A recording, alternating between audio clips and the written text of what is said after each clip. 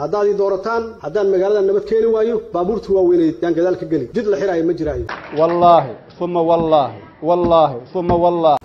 Daawadayaal ku soo dhawaada calansida media. Fadlan haddii aad nagu cusub tahay subscribe saar haddii ay tahay markii kugu horreysay oo calansida media soo booqatay fadlan subscribe saar gambeelka furuddaa wararkii ugu dambeeyey. Maraykanka oo ciidanka kenya siiya diyaarado ay kula dagaalamayaan ururka al-shabaab islamarkaasina waxaa la soo dhoobay diyaarada shan ka mid ah loogu talagalay in ururka al-shabaab loo maarala-yah lagu ciribtiro islamarkaasina duqeyn xoogan oo cir iyo dhul ahba lagu geysto. Maraykanka ayaa lagu maraykanka ayaa lagu soo waramayaa inuu diyaarado dagaal ugu deeqay ciidamada dowladda kenya si ay ugala dagaalamaan ururka al-shabaab oo maalmihii u dambeeyey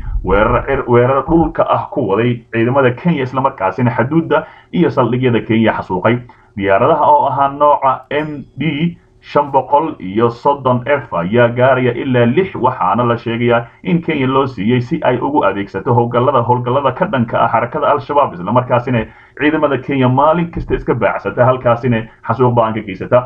Stephen townse stephen townson oo ah taliyaha ciidanka ee africom ee kenya ku wareejiyay diyaaradaha kadib munaasabad ka dhacday nairobi ayaa sheegay inay arrintaani qayb ka tahay iskaashiga dhanka amniga ee ka dhexeeya dowladda maraykanka iyo iyo dalka kenya. Sidoo kale wuxuu intaasi ku daray inay sii wadi doonaan taageerada militari ee ay siinayaan ciidamada kenya islamarkaana ay mar kale ugu deeqi doonaan diyaarado kale islamarkaasina si halkaasi loo ciribtiro ururka al-shabaab. Saraakiil saasare oo ka tirsan militariga kenya oo madasha ku sugan ayaa ka mahad celiyey ayaa ka mahad celiyay diyaaradaha loogu deeqay waxayna sheegeen inay laba jibaari doonaan howlgallada ka dhanka ah ururka al-shabaab ee ay ka wadaan kenya iyo soomaaliya. Maraykanka ayaa qayb ka ahaa dagaalka al-shabaab wuxuuna duqeymo xoogan ka fuliyaa koonfurta iyo bartamaha soomaaliya islamarkaasina uu la beegsanayo xarakada al-shabaab meel kasta ay joogaan iyo saraakiil kasta iyo meel kasta ay ku diyaarinayaan qaraxyada gawaarida si kastaba ha ahaatee diyaaradani dagaal haatan la siiyey kenya ayaa ku soo aadaya iyadoo muddooyinkii la soo dhaafay ururka al-shabaab ay kordhiyeen weerarada ay ka fuliso waddankaasi kenya waxaana dhowaan ay weerartay saldhiggii ay ciidamada kenya iyo kuwa maraykanka ay ku lahaayeen gobolka xeebta ee laamu islamarkaasina halkaasi diyaaradaha yaryarka ee raaxadaha qaaliga halkaas u gubtay si kastaba ha ahaatee ururka al-shabaab ayaa miciyo xoogan kala soo baxday xaduudda dalka soomaaliya kenya islamarkaasina waxay ka dhigatay tusbax go'ay inay halkaasi mar kasta ay jidka u galaan ciidamada dowladda kenya islamarkaasina saldhigyada halkaasi ku weeraraan. Si kastaba ha ahaatee ururka ururka ururka africom ayaa iminka waxay rabaan inay dadaalada xoojiyaan islamarkaasina kenyaantigii iminka ay hubeeyeen. Haddii arrintaasi ay ku guulaystaan waxaa macquula inay xadka ka sifeeyaan ururka al-shabaab oo maara loo la-yahay halkaa naga daawanaysaan waa calansida media. Fadlan nala joog ahlu sunna oo ku goodisay inay dhisayso maamul ka madax bannaan kan dowladda maadaama xala saqdii dhexe ay soo saareen war-saxaafadeed aada u culus. War-saxaafadeed ay xala saqdii dhexe ay soo saareen ahlu sunna waljamaaca ayaa waxaa loogu hadlay xaaladda galmudug gaar ahaan arrimaha doorashooyinka iyo dhaqan iyo dhaqaaqyada siyaasadeed ee ka socda maamulkaasi iyo dhuusamareeb islamarkaasina ay u begi waysay dhuusamareeb waxa ka socdo ahlu sunna qoraal ay qoraal uu soo qoraal uu ku saxiixan yahay madaxa xukuumadda galmudug sheekh maxamed shaakir cali xasan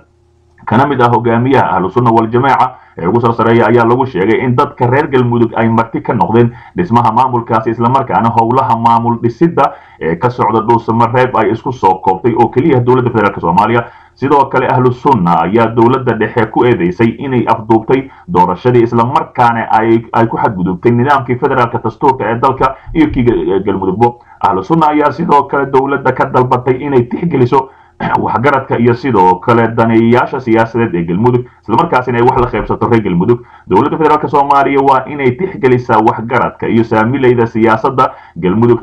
taladaasi oo ah sida sida ay wax ku hogaansan sida ay wax ku hogaamiyaan galmudug. Mid ahna ku dhismi karto ayaa lagu yidhi war murtiyeedkii ka baxay xafiiska sheekh maxamed shaakir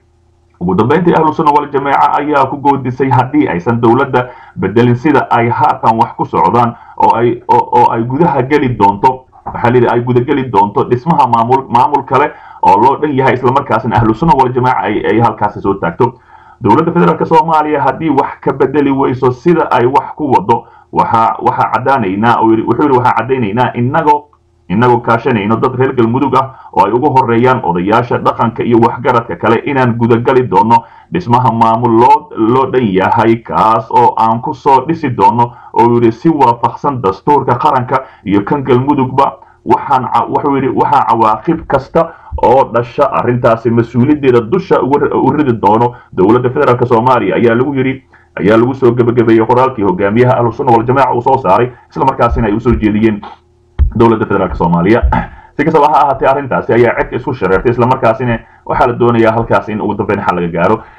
Dhinaca kale xiisadii somalilan iyo jabuuti oo ka sii dartay kadib markii ay qaaday somalilan tallaabo aada culus islamarkaasina markabkii internetka ay dib u celisay xiisada udhexaysa somalilan iyo jabuuti ayaa muuqata inay ka sii darayso. Kadib markii somalilan ay shalay dib u celisay markab jiidayay xargaha internetka kaas oo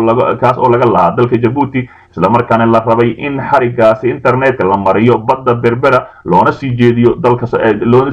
dalkeena soomaaliya xisbiga mucaaradka ah ee wadaniga ayaa dhinaca kale markii u horreysay ka hadlay qorshaha ay dowladda jabuuti ay xarigga internetka ku soo marinayso badda magaalada berbera islamarkaasina war ka soo saaray wadaniga xisbiga wadani ayaa sheegay in dowladda jabuuti ay isku dowladda jabuuti ay iska indhitirayso jiritaanka somalilan islamarkaana ay jabuuti ogoleyn gooni isku taagga somalilan iyadoo ku dooda inay tahay dal ka madax bannaan soomaaliya barkad jaamac batuun afhayeenka xisbiga wadani oo arrinkaasi ka hadlay ayaa sidoo kale waxa uu sheegay in dowladda jabuuti ay ka faa'iidaysanayso maamul xumida baahsan ee xukuumadda muuse biixi oo hogaamiso somalilan islamarkaasina ee halkaasi ay aragtay in maamul fiican uu dhisnayn barkad batuun ayaa waxaa kale uu su'aal geliyey qorshaha jabuuti ee xarigga internetka ay ku soo marinayso badda berbera iyadoo wax ogolaasho ah ka haysanin xukuumadda muuse biixi wuxuuna yidhi dowladda jabuuti dowladda jabuuti xarigeeda internetka ee fiber optic laba su'aalood ayaa layska weydiin karaa ayuu yidhi. Intaasi marka la eego xarigga ay keenayso magaalada berbera wasiirkooda iska isgaarsiinta waxa uu ku tilmaamay inay soomaaliya ka mid tahay tallaabadani keenidda xarigga somalilan maxaa ka furan? ayuu yidhi marka ay barnaamij qabanayso maadaama wuxuu yidhi maadaam maadaama ay marinayaan magaalooyinka somalilan ayuu yidhi magaalooyinka somalilan ka tirsan inay maamuus ahaan diblomaasiyadeed ahaan iyo sharci ahaanba inay ka soo waxaa layidhi inay ku soo casumaan xukuumadda kulmiye ayay ahayd waa waktiga la keenay nidaamka loo keenay mas'uuliyadda heshiiska la gaaray wuxuu yidhi heshiiska la gaarayana iyo dhaawaca imaan kara in meesha ay ka muuqato ayay ahayd ayuu yidhi somalilan. Dhulka ay hadda soo galayaan ciidda ciidda maamushana cidda maamushana waa somalilan in layska indhatiro oo aan waxba la weydiin karin ayuu yidhi ama waxba la weydiin marka la doonayo layska layska soo galo marka la doonana layska baxo waa ayaan darooyinka iyo siyaasad xumada ay dowladda kulmiya keentay jabuutina malaa wuxuu yidhi jabuutina malaa somalilan waxay u haysataa cali sabiix oo kale. Wuxuu intaasi ku daray marka la eego hadalka ninka mas'uulka ah ee dowladda jabuuti afkeeda ku hadlayay waxa uu muujinayay inay weli iska indhatirayaan xaqiiqda dhabta ah ee ka jirta somalilan. Aniguna garan maayo yidhi goor ay maamulkeeda soomaaliya maamusho in xaqiiqda iyo jiritaanka ummadda somalilan iyo halgankeeda inaanan jabuuti ogoleyn ayaa cad ayuu yidhi meesha waxaa ka muuqata in cid mas'uuliyaddii dalka haysan ee xukuumadda kulmiya ahayd inaanan inaanan eegayn. Masiirka ummadda ee ay masaalix gaar ah eeganayso arrintaana waa inay xog loogu hadlaa waayo waxa uu mugdi iyo muran galay. Masiirkii ummadda arrintaasina hadda mid qarannimo ayay taagan tahay. Daliishuna cid kale maahee waa nidaamka fashilka ee ku yimid ee kulmiya hogaamiye muuse biixi habtayna maamulkii dalka islamarkaasina aan waxba jirin halkaasi ku haya afhayeenka ayaa ugu dambeyntii xukuumadda somalilan ee hogaamiye muuse biixi ku dhaliilay jawaabtii jawaabtii ay ka bixisay xarigga ay dowladda jabuuti soo marinayso badda berbera isagoona ku tilmaamay mid mid baryootan ku muuqata hase ahaatee waxa uu leeyahay muuse biixi xukuumaddiisa waa mid fishilmitay dhinaca kale dalbashada baasaboorka soomaaliga ayaa hakad la geliyay magaalada muqdisho. Hay'adda socdaalka iyo jinsiyadaha dowladda federaalk soomaaliya ayaa shaacisay in muddo isbuuc ah hakad la geliyey dalbashada iyo qaadashada baasaboorka soomaaliya ah maadaama dad malaayiin qofood u baahan yihiin. War kooban oo ka soo baxay hay'adda socdaalka iyo jinsiyadaha ayaa lagu sheegay in howlo farsamo iyo horumarin oo ku socdo habka bixinta baasaboorka. Waxa ayna taasi keentay in muddo asbuuca hakad la geliyo dalbashada iyo qaadashada baasaboorka. Howlo farsamo iyo horumarin ah oo ka socda habka bixinta baasaboorka. Awgeed awgeed waxaa muwaadiniinta soomaaliyeed. Meel kasta oo ay joogaan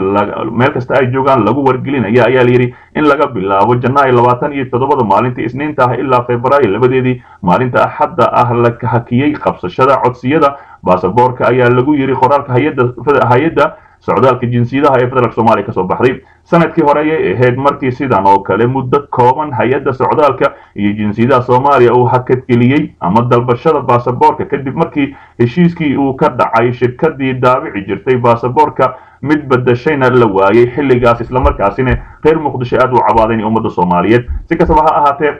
baasaboorka ayaa inta hadda waxaa la leeyahay dib habeen iyo aad u qurxin iyo teknolojiya casri ah ayaa lagu soo samaynaya isla markaasina dib ayaa loo furaya halkaa naga daawanaysaan waa calansida media fadlan subscribe saar gombeelka furada wararka ugu dambeeyay warar xiisala ayaa noo soo socdo.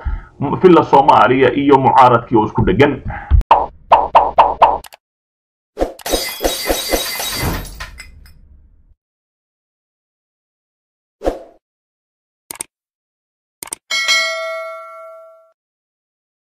هذا دورتان هذا المجال أن نبتكل وياه بابورت هو وين يتيان يعني كذلك قلي. جد الحراي مجراي والله ثم والله والله ثم والله.